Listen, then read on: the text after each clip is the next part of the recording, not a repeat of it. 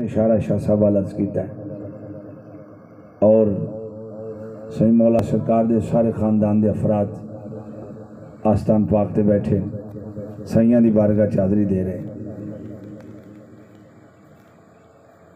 ਇਹ जुमला मोतरजा के तौर पर सैयद पैदाशी तौर ਤੇ ਵਲੀ ਹੁੰਦਾ ਹੈ, ਉਹਨੂੰ ਚਿੱਲਿਆਂ ਵਜ਼ੀਫਿਆਂ ਦੀ ਲੋੜ ਨਹੀਂ ਪੈਂਦੀ ਉੱਠੇ ਬੋਲੇ ਕਿਤੇ ਕੋਈ ਕੰਮ ਦੀ ਗੱਲ ਹੋਵੇ ਤੇ ਖੁੱਲ ਕੇ ਆਖ ਛੜਿਆ ਕਰੋ ਠੀਕ ਹੈ ਗੱਲ ਉਹਦੀ ਤਾਈਦ ਵਿੱਚ ਇਹ ਵੇ ਕਿ ਸੁਭਾਨ ਅੱਲਾਹ ਉੱਚੀ ਆਖੋ ਹਾਂ, ਸੈਯਦ ਨੂੰ ਚਿੱਲਿਆਂ ਵਜ਼ੀਫਿਆਂ ਦੀ ਲੋੜ ਨਹੀਂ ਵਲਾਇਤ ਵਾਸਤੇ ਉਹਦੇ ਵਾਸਤੇ ਨਿਸਬਤ ਰਸੂਲ ਹੀ ਕਾਫੀ ਨਿਸਬਤ ਆਲੇ ਰਸੂਲ ਇਹ ਕਾਫੀ ਹੈ ਨਿਸਬਤ ਰਸੂਲ ਆਲੇ ਰਸੂਲ ਵਾਸਤੇ ਪੈਦਾਸ਼ੀ ਤੌਰ ਤੇ ਇਹ ਬੜੀ ਲੰਬੀ ਬਹਿਸ ਹੈ ਮੈਂ ਕੋਈ ਬਾਸ ਕਰੇ ਤੇ ਮੈਂ ਉਹਨੂੰ ਸਮਝਾ ਵੀ ਸਕਣਾ ਕਿਵੇਂ ਲੇਕਿਨ ਮੈਂ ਬਸ ਦੋ ਲਫ਼ਜ਼ਾਂ ਦੀ ਗੱਲ ਖਤਮ ਕਰਨੀ ਸੈਯਦ ਨੂੰ ਪੈਦਾਸ਼ੀ ਤੌਰ ਤੇ ਵਲਾਇਤ ਮਿਲਦੀ ਹੈ ਇਹਨੂੰ ਵਲਾਇਤ ਲਈ ਚਿੱਲੇ ਵਜ਼ੀਫੇ ਇਬਾਦਤ ਔਰ ਰਿਆਜ਼ਤ ਦੀ ਜ਼ਰੂਰਤ ਨਹੀਂ ਇਹਨੂੰ ਨਸਬੇ ਰਸੂਲ ਦੀ ਵਜ੍ਹਾ ਤੋਂ ਵਲਾਇਤ ਨਸੀਬ ਹੋ ਜਾਂਦੀ ज्यों ज्यों यदि उम्र ज़्यादा होंगी ये वलायत प्रमोट होती इन गल समझ आई बोले जरा। अतलर आके बोले ज्यों ज्यों उम्र ज़्यादा होंगी वलायत प्रमोट होंगी जू ही सैयद ज़्यादा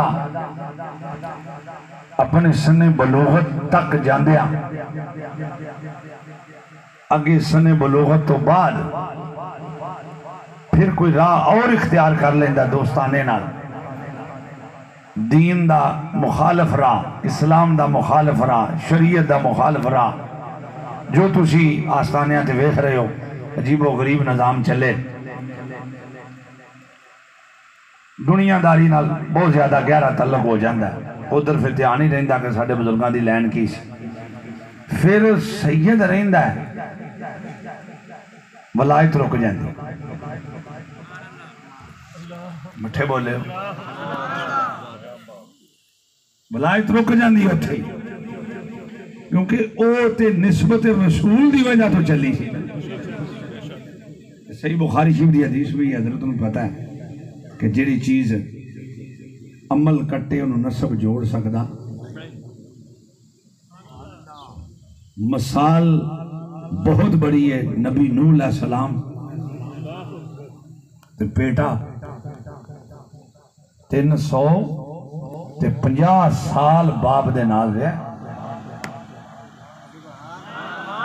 ਕਿੰਨੇ ਸਾਲ 350 ਸਾਲ ਤੇ ਫਰਮਾਇਆ ਇਨਹੁ ਲੈਸ ਮਿਨ ਅਹਲਿਕ ਕਿਉਂ ਇਨਹੁ ਗੈਰ ਅਮਲ ਸਾਲਿਹ ਉਹ ਪਿਓ ਵਾਲਾ ਨਬੀ ਵਾਲਾ ਅਮਲ ਨਹੀਂ ਕਰ ਸਕਿਆ ਇਸ ਵਾਸਤੇ ਅਸੀਂ ਨਹੀਂ ਮੰਨਦੇ ਤੁਹਾਡਾ ਉਹ ਹੈ ਜਿਹੜਾ ਤੁਹਾਡੇ ਨਾਲ ਦੇ ਅਮਲ ਕਰੇ ਤੇ ਜੋ ਹੀ ਉਹ ਸੈਯਦਜ਼ਾਦਾ ਸਮਝਦਾ ਕਿ ਮੈਂ ਤੇ ਆਪਣੇ ਬਾਪ ਦਾਦਾ ਦੀ ਰਾਹ ਛੱਡ ਦਿੱਤੀ ਤੇ ਉਹ ਆਂਦਾ ਮੈਂ ਕਿੱਧਰ ਟੁਰ ਪਿਆ ਉਹ ਜਦੋਂ ਵਾਪਸ ਆਉਂਦੇ ਨੇ ਉਹਨਾਂ ਰਸਤਿਆਂ ਤੇ ਆਪਣੇ ਵੱਡਿਆਂ ਦੇ ਰਾਹਾਂ ਤੇ ਵਾਪਸ ਆ ਜਾਂਦੇ ਨੇ ਤੇ ਫਿਰ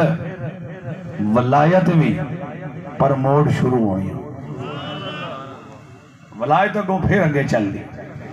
वरना वलायत रुक जाती वलायत उन्होंने नस्बत नी उस किरदार सी।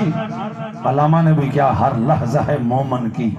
नई आन, नई शान, गुफ्तार में, किरदार में। अल्लाह की बुरहान। गफारियो, सत्तारियो, कहारियो, जबारूत।